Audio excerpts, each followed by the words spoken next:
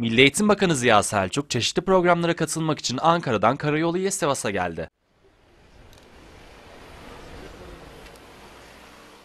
Selçuk, 81 il Milli Eğitim Müdürlerinin katılımıyla Tarihi Kongre binasında gerçekleştirecek olan toplantıya katıldı.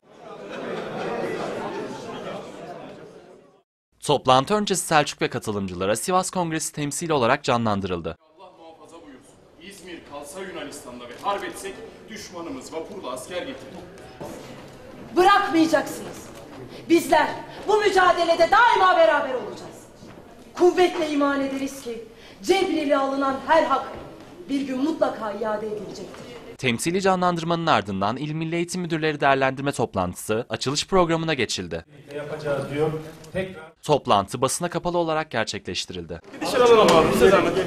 Toplantının ardından basın mensuplarına açıklamalarda bulunan Bakan Selçuk, bizim mutat olarak il müdürlerimizle toplantılarımız oluyor. Ama 100. yılı bizim açımızdan çok önemli. Milli mücadelemizin başladığı ve bütün ruhuyla, ruhaniyetiyle hissettiğimiz bir mekan olarak Sivas'ta bu binada bulunuyor olmanın ayrı bir değeri var. Eğitim ile ilgili bakış açımızın tazelenmesi ve hizamızı gözden geçirmek için, niyetimizi gözden geçirmek için bu binada bütün hatıralarımızı yeniden ve yeniden tefekkür ve tezekkür edip, arkadaşlarımız ile değerlendirmeler yapıp, milli eğitim konularını iştihar etmek için burada bulunuyoruz.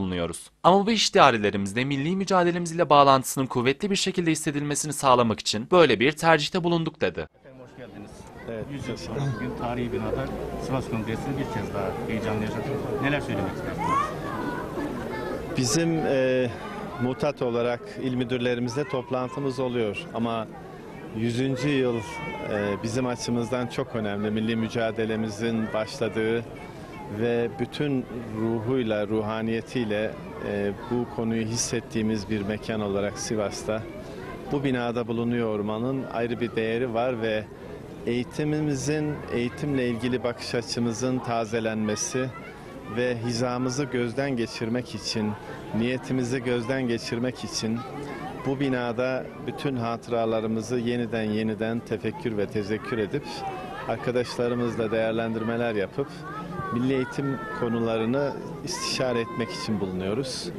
Ama bu istişarenin de milli mücadelemizle bağlantısının eee, kuvvetli bir şekilde hissedilmesini sağlamak için böyle bir tercihte bulunduk. Teşekkür ederim. Sağ olun.